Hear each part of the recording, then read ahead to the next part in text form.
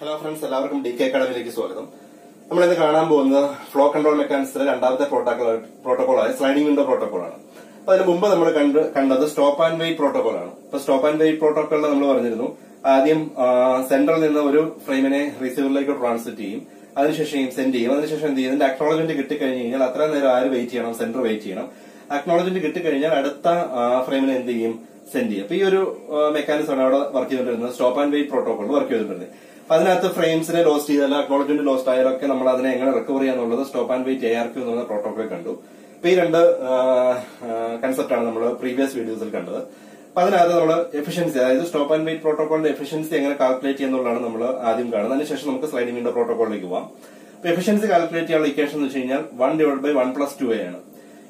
ഇതിൽ എ എന്ന് പറഞ്ഞു കഴിഞ്ഞാൽ എ റെപ്രസെന്റ് ചെയ്യുന്നത് propagation time divide by transmission time ആണ്. പ്രൊപ്പഗേഷൻ ടൈം ഡിവൈഡ് ബൈ ആണ് ഡിവൈഡ് ബൈ ട്രാൻസ്മിഷൻ ടൈം ആണ് ഈ എ കൊണ്ട് റെപ്രസെന്റ് ചെയ്യുന്നത്. എന്താണ് പ്രൊപ്പഗേഷൻ ടൈം എന്താണ് ട്രാൻസ്മിഷൻ ടൈം നോക്കാം. അപ്പൊ ഇവിടെ ഇപ്പൊ നമ്മൾ ഇവിടുന്ന് ഒരു ഫ്രെയിമിനെ നമ്മൾ സെൻഡ് ചെയ്യാണ്. ഇപ്പോൾ നമ്മൾ ആദ്യത്തെ ഡി എന്ന് പറയുന്ന ഡി സീറോ എന്നൊരു ഫ്രെയിമിനെ നമ്മൾ സെൻഡ് ചെയ്യാണ്. അപ്പൊ ഇവിടെ സെൻഡ് ചെയ്യുന്ന സമയത്ത് ഇതിന്റെ ഫസ്റ്റ് ബിറ്റ് തൊട്ട് നമ്മൾ ലാസ്റ്റ് ബിറ്റ് വരെ എന്ത് ചെയ്യണം? ഇവിടുന്ന് ട്രാൻസ്മിറ്റ് ചെയ്യും. ഇത് ഫസ്റ്റ് ബിറ്റ് ഇവിടെ എത്താനുള്ള സമയം. ഇത് സെൻഡ് ചെയ്ത് സെൻഡ് ചെയ്ത് സെൻഡ് ചെയ്ത് ഇതിനകത്ത് ഏറ്റവും ലാസ്റ്റ് ബിറ്റ് വരെ ഇവിടെ എത്താനുള്ള സമയമുണ്ടല്ലോ. ഈ ഒരു സമയത്തെ പറയുന്ന പേരാണ് ട്രാൻസ്മിഷൻ ടൈം എന്ന് പറയുന്നത്. ഓക്കെ അല്ലേ? ഇവിടുത്തെ എന്റെ മെസ്സേജസിന് ഇവിടെ നമ്മൾ എന്ത് ചെയ്യണം? ഇവിടുന്ന് ഫുള്ള് ഈ റിസീവറിൽ എത്താനുള്ള സമയമാണ് എന്ന് പറയുന്നത് ട്രാൻസ്മിഷൻ ടൈം എന്ന് പറയും. അതിനുശേഷം ഇതിന്റെ അക്നോളജ്മെന്റ് തിരിച്ച് ഇവിടെ റൗണ്ട് ചെയ്ത് ഇവിടെ എത്താനുള്ള ടൈമിനെ പറയുന്ന പേരാണ് പ്രൊപ്പഗേഷൻ ടൈം എന്ന് പറയും. ഓക്കെ അല്ലേ? പ്രൊപ്പഗേഷൻ ടൈമും ട്രാൻസ്മിഷൻ ടൈമും അപ്പം എയുടെ value propagation time divide by transmission ടൈമാണ് അപ്പൊ ഓക്കെ ആണല്ലോ അപ്പൊ നമുക്കൊരു ഇതിന്റെ എഫിഷ്യൻസി കാൽക്കുലേറ്റ് ചെയ്യാൻ ഇക്വേഷൻ എന്ന് വെച്ച് കഴിഞ്ഞാൽ one divide by one plus two a ആണ്. ക്ലിയർ അല്ലേ? ദെൻ സ്റ്റോപ്പ് ആൻഡ് വെയിറ്റ് പ്രോട്ടോകോളിനെ കുറിച്ച് നമ്മൾ രണ്ടാമത്തെ കാര്യം നോക്കുകയാണെങ്കിൽ ഇപ്പൊ ഇതിന്റെ സെന്ററിന്റെ വിൻഡോയുടെ സൈസും റിസീവറിന്റെ വിൻഡോയുടെ സൈസ് എന്ന് വെച്ച് കഴിഞ്ഞാൽ വൺ ആയിരിക്കും. സെന്റർ വിൻഡോ സൈസും റിസീവർ വിൻഡോ സൈസും വൺ ആയിരിക്കും. ഇവിടെ നമ്മൾ നോക്കുകയാണെങ്കിൽ ഇവിടെ നിന്ന് സെന്റർ വിൻഡോ വിൻഡോ എന്ന് വെച്ച് കഴിഞ്ഞാൽ ഇവിടെ നമുക്ക് എത്ര ബഫർ ഉണ്ട്? ഒരു ഫ്രെയിമിനെ സ്വീകരിക്കാനായിട്ട് അല്ലെങ്കിൽ ഒരു ഫ്രെയിം ലോഡ് ചെയ്യാനായിട്ട് എത്ര ബഫർ സൈസ് ഉണ്ട്? ഇവിടെ നമ്മൾ സ്വീകരിക്കാനായിട്ട് എത്ര ബഫർ സൈസ് ഉണ്ട് ഇപ്പോൾ നമുക്ക് ഇവിടെ അറ്റ് എ ടൈമിൽ ഒരു ഫ്രെയിമിനെ നമുക്ക് എന്ത് ചെയ്യാൻ പറ്റുള്ളൂ? ഇവിടെ നിന്ന് ഇങ്ങോട്ട് സെൻഡ് ചെയ്യാൻ പറ്റുള്ളൂ. ക്ലിയർ അല്ലേ? ഇവിടെ ഒറ്റ ടൈമിൽ എത്ര ഫ്രെയിമിനെ നമുക്ക് റിസീവ് ചെയ്യാൻ പറ്റുള്ളൂ? ഒറ്റ ഫ്രെയിമിനെ റിസീവ് ചെയ്യാൻ പറ്റുള്ളൂ. അപ്പൊ ഇവിടുത്തെ ബഫർ സൈസ് എന്ന് വെച്ചാൽ എന്താണ്? വൺ അപ്പൊ ഒരു ബഫർ സൈസിനാണ് നമ്മൾ വിൻഡോ എന്ന് പറയും.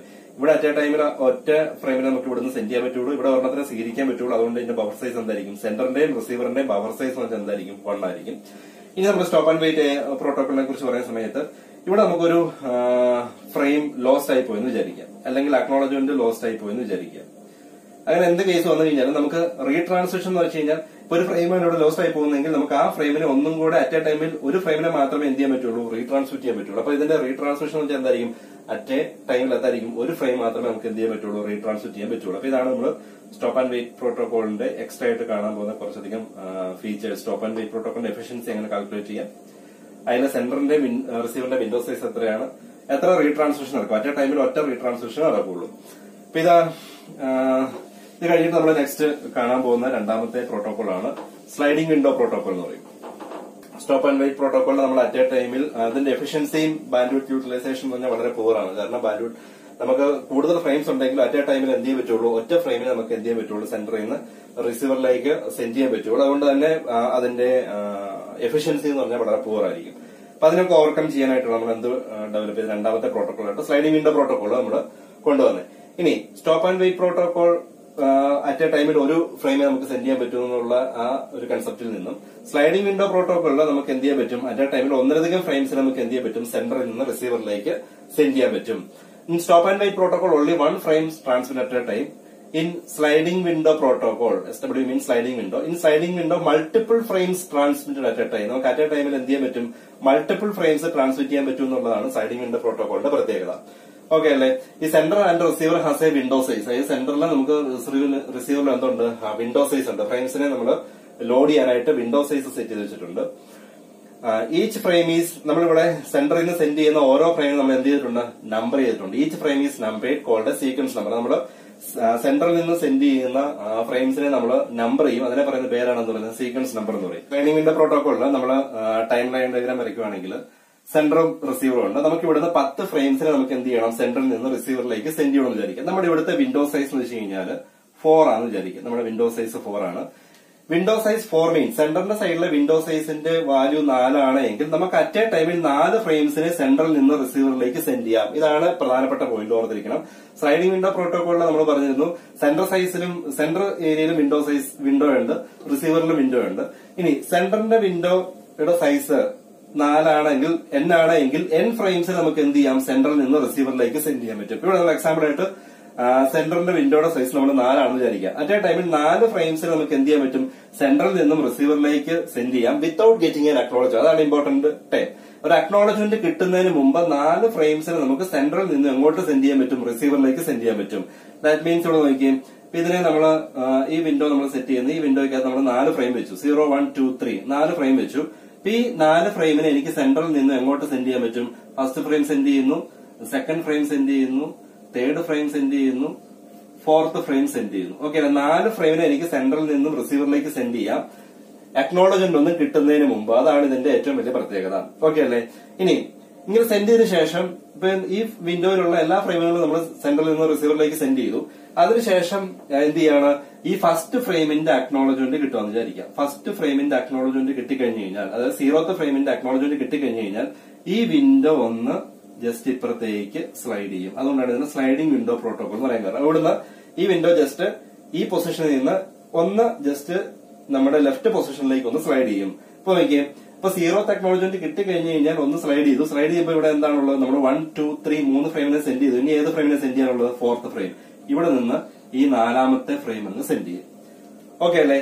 ഇനി ഇനി അടുത്ത ഈ വിൻഡോ ഇപ്പുറത്തേക്ക് ഒന്ന് സ്ലൈഡ് ചെയ്യണമെങ്കിൽ എന്ത് ചെയ്യണം? ആ ഇവിടെ നോക്കിയേ. ഈ ഫസ്റ്റ് ഫ്രെയിമിന്റെ അക്നോളജ്മെന്റ് കിട്ടണം. നമുക്ക് നോക്കിയേ. ഫസ്റ്റ് ഫ്രെയിമിന്റെ അക്നോളജ്മെന്റ് കിട്ടുമ്പോൾ വീണ്ടും ഈ വിൻഡോ എന്ത് ചെയ്യും? ഇപ്പുറത്തേക്ക് ഒന്നും കൂടെ സ്ലൈഡ് ചെയ്യും. സ്ലൈഡ് ചെയ്യുന്ന സമയത്ത് ഇവിടെ നമ്മൾ ഇപ്പൊ വിൻഡോയിൽ ഏതൊക്കെ ഫ്രെയിംസ് ആണുള്ളത് ടു ത്രീ ഫോർ ഫൈവ് അതിൽ ടൂവും ത്രീയും ഫോറും നമ്മൾ സെൻഡ് ചെയ്ത് കഴിഞ്ഞാണ്. ഇനി സെൻഡ് ചെയ്യാനുള്ള ഏതാണ്? ഫൈവ് അതായത് ഈ അക്നോളജ്മെന്റ് കിട്ടുമ്പോൾ ഇപ്പൊ വിൻഡോയിലുള്ള ഫിഫ്ത്ത് ഫ്രെയിമിനെ എന്ത് ചെയ്യും സെൻഡ് ചെയ്യും. ക്ലിയർ അല്ലേ? ഇപ്പൊ ഇവിടെ നോക്കിയും. ഇപ്പൊ വിൻഡോയിൽ ഇരിക്കുന്നത് ടു ത്രീ ഫോർ ഫൈവ് ആണ്. ടു ത്രീ ഫോർ ഫൈവ് എന്നുള്ള ഈ മൂന്ന് സോറി ഈ നാല് ഫ്രെയിംസിനെ നമ്മൾ ഓൾറെഡി സെൻഡ് ചെയ്ത് കഴിഞ്ഞു. ഇതിന് തൊട്ട് മുമ്പുള്ള സീറോയും വണ്ണും കറസ്പോണ്ടിങ് അക്നോളജ്മെന്റ് കിട്ടിയ ഫ്രെയിംസ് ആണ്. ഇനി സിക്സ് സെവൻ എയ്റ്റ് കിട്ടാനുള്ളതാണ്. അപ്പൊ ഈ ഈ ഒരു ഫ്രെയിമിൽ നമുക്ക് മനസ്സിലാക്കാൻ പറ്റുന്നത് ഇപ്പൊ വിൻഡോയിലുള്ള ഫ്രെയിംസുകളെല്ലാം നമ്മൾ സെൻഡ് ചെയ്ത് കഴിഞ്ഞു. വിൻഡോയ്ക്ക് തൊട്ട് മുമ്പുണ്ടായിരുന്ന ഫ്രെയിംസിന് അക്നോളജ്മെന്റ് കിട്ടിക്കഴിഞ്ഞതാണ്. ഇനി ഇതിന് ശേഷമുള്ള ഫ്രെയിംസ് എന്താണ്? ഇതിന് ശേഷമുള്ള ഫ്രെയിംസ് എന്താണ്? നമുക്ക് സെൻഡ് ചെയ്യാനുള്ള ഫ്രെയിംസ് ആണ്. ക്ലിയർ അല്ലേ? ഇനി ഈ വിൻഡോ വീണ്ടും ഇപ്പുറത്തേക്ക് സ്ലൈഡ് ചെയ്യണമെങ്കിൽ എന്ത് ചെയ്യണം? സെക്കൻഡ് ഫ്രെയിമിന്റെ അക്നോളജ്മെന്റ് കിട്ടണം. അപ്പൊ ഇതിനാണ് നമ്മൾ സ്ലൈഡിംഗ് വിൻഡോ പ്രോട്ടോകോൾ എന്ന് പറയും. അപ്പൊ ഇവിടെ സ്ലൈഡിംഗ് വിൻഡോ പ്രോട്ടോകോൾ നമ്മൾ പറയുന്നത് നമ്മൾ സ്റ്റോപ്പ് ആൻഡ് വെയിറ്റ് പ്രോട്ടോകോളിൽ അറ്റ് എ ടൈമിൽ ഒരു ഫ്രെയിമെ നമുക്ക് ഇവിടുന്ന് സെൻഡ് ചെയ്യാൻ പറ്റുവാണെന്നുള്ളൂ. ആ ഫ്രെയിം സെൻഡ് ചെയ്ത ശേഷം അക്നോളജ്മെന്റ് കിട്ടിക്കഴിഞ്ഞാൽ മാത്രമേ എന്ത് ചെയ്യാൻ പറ്റുള്ളൂ? സെക്കൻഡ് ഫ്രെയിമിനെ കുറിച്ച് സെക്കൻഡ് ഫ്രെയിമിനെ സെന്റർ അങ്ങോട്ട് എന്ത് ചെയ്തുള്ളൂ റിസീവറിലേക്ക് സെൻഡ് ചെയ്യുള്ളൂ. അപ്പൊ അവിടെ സെന്ററിന്റെ വിൻഡോയുടെ സൈസും റിസീവറിന്റെ വിൻഡോയുടെ സൈസും വൺ ആണ്. പക്ഷെ ഇവിടെ നമ്മൾ നോക്കിയും സ്ലൈഡിംഗ് വിൻഡോ പ്രോട്ടോകോൾ ആയപ്പോഴത്തേക്കും വിൻഡോ സൈസ് നമുക്ക് എൻ സെറ്റ് ചെയ്യാം. ആ എൻ ഫ്രെയിംസിന് നമുക്ക് എന്ത് ചെയ്യാൻ പറ്റും? സെന്ററിൽ നിന്ന് റിസീവറിലേക്ക് സെൻഡ് ചെയ്യാൻ പറ്റും. ഇവിടെ നമ്മുടെ വിൻഡോയുടെ സൈസ് നാലാണെങ്കിൽ നാല് ഫ്രെയിംസിന് അറ്റ് എ ടൈമിൽ നമുക്ക് സെൻഡ് ചെയ്യാം. ഒരു അക്നോളജ്മെന്റ് കിട്ടുന്നതിന് മുമ്പ് നാല് ഫ്രെയിംസിന് സെൻഡ് ചെയ്യാം. അഞ്ചാണെങ്കിൽ അഞ്ച് ഫ്രെയിംസിന് സെൻഡ് ചെയ്യാം. അതിനുശേഷം എപ്പോഴാണോ അക്നോളജ്മെന്റ് കിട്ടുന്നത് ഫസ്റ്റ് ഫ്രെയിമിന്റെ അക്നോളജ്മെന്റ് എപ്പോഴാണോ കിട്ടുന്നത് ആ സമയത്ത് എന്ത് ചെയ്യും? വിൻഡോ ഇപ്പുറത്തേക്ക് ഒന്ന് സ്ലൈഡ് ചെയ്യും. ക്ലിയർ അല്ല. അതിനുകൊണ്ടാണ് ഇതിനെ എന്ന് പറയാൻ കാരണം? സ്ലൈഡിംഗ് വിൻഡോ പ്രോട്ടോകോൾ എന്ന് പറയാൻ കാരണം. അപ്പൊ ഇതാണ് നമ്മൾ ഇന്നത്തെ വീഡിയോസ് ഡിസ്കസ് ചെയ്തത്. എന്താണ് സ്ലൈഡിംഗ് വിൻഡോ പ്രോട്ടോകോൾ ഇനി നമ്മൾ കാണാൻ പോകുന്നത് ഇതിനകത്ത് ഒരു എറർ വന്നു കഴിഞ്ഞാൽ ഒരു ഫ്രെയിമിനെ എറർ വന്നു കഴിഞ്ഞു കഴിഞ്ഞാൽ അല്ലെങ്കിൽ ഗ്രൂപ്പ് ഓഫ് ഫ്രെയിംസിന് എറേഴ്സ് വന്നു കഴിഞ്ഞു കഴിഞ്ഞാൽ അതായത് അക്നോളജിന്റെ എറർ വന്നു കഴിഞ്ഞു കഴിഞ്ഞാൽ എങ്ങനെ നമുക്ക് ഇതിനകത്ത് എറർ കർഷണം ചെയ്യാൻ പറ്റും എന്നുള്ളതാണ്. അത് നമുക്ക് നെക്സ്റ്റ് വീഡിയോയിൽ കാണാം. ഇപ്പൊ ഇവിടെ നമ്മൾ എറർ കർഷണം ചെയ്തിട്ട് നമ്മൾ രണ്ട് കൺസെപ്റ്റാണ് ആണ് സ്ലൈഡിംഗ് വിൻഡോ പ്രോട്ടോകോൾ നമ്മൾ പറയുന്നത്. അതിൽ സൈഡിംഗ് വിൻഡോ പ്രോട്ടോകോൾ നമുക്ക് രണ്ടായിട്ട് തിരിക്കാം. ഒന്നാമത്തെ വെച്ച് കഴിഞ്ഞാൽ go back N G B N എന്ന് പറയും. രണ്ടാമത്തെ പ്രോട്ടോകോൾ എന്ന് വെച്ചാൽ go back N A R Q രണ്ടാമത്തേത് selective repeat A R Q selective repeat A R Q window protocol നമുക്ക് രണ്ടായിട്ട് തിരിക്കാം. അതിൽ ഒന്നാമത്തെ പ്രോട്ടോകോൾ എന്ന് വെച്ചാൽ go back N A R Q go back N A R Q and selective repeat A R Q ഈ രണ്ട് protocols ആണ് നമ്മൾ നെക്സ്റ്റ് വീഡിയോസിൽ കാണാൻ പോകുന്നത്. ഇത് രണ്ടും സ്ലൈഡിംഗ് വിൻഡോ പ്രോട്ടോകോളിന്റെ രണ്ട് വേർഷൻസ് ആണ്. അത് രണ്ടും എറർ കറക്ഷന് വേണ്ടിയാണ് നമ്മൾ എന്ത് യൂസ് ചെയ്യുന്നത് സ്ലൈഡിംഗ് വിൻഡോ പ്രോട്ടോകോൾ യൂസ് ചെയ്യുന്നത്. ഈ വീഡിയോസ് നിങ്ങൾക്ക് എല്ലാവർക്കും ഇഷ്ടപ്പെടുന്നു വിചാരിക്കുന്നു. എല്ലാവരും ഷെയർ ചെയ്യുക ലൈക്ക് ചെയ്യുക ഓക്കെ താങ്ക്